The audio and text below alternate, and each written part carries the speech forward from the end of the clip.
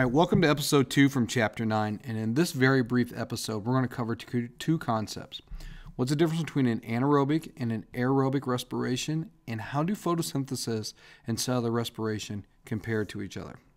So let's get down to business. First, we're going to look over here on the left hand side of your screen, and this one deals with the difference between aerobic and anaerobic.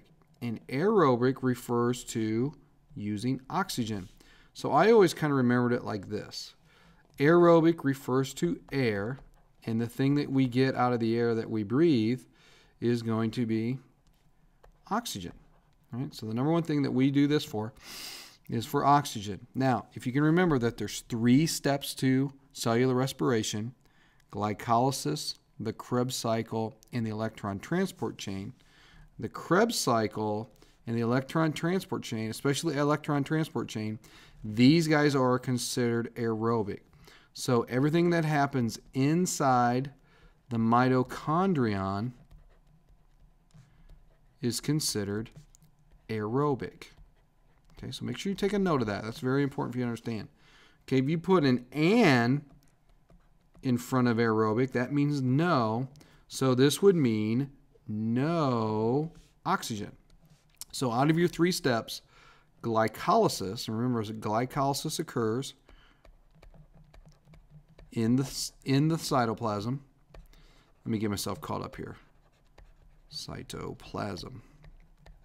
Okay, that is considered anaerobic. So you can do glycolysis without having oxygen available. Okay, so I want you to remember this. One, the anaerobic part of cellular respiration is glycolysis. That occurs in the cytoplasm.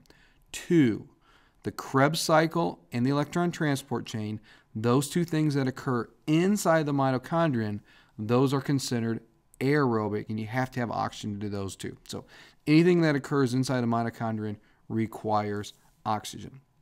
All right, I want to get rid of this stuff before we start writing all over the next one. All right, so over here on the right hand side of your screen is a graphic that shows you the comparison between cellular respiration and photosynthesis. Okay, so really I just want to kind of draw a squiggly line right through here because everything on top is photosynthesis and everything below it is respiration. Right? Now, what you want to remember is the products of one become the reactants of the other.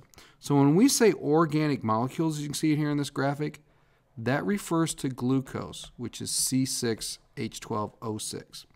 So photosynthesis, the products are going to be glucose and oxygen, and those become the reactants for the mitochondrion to produce ATP down here, and the waste products, CO2 and H2O, will become the reactants. So let's do this over here.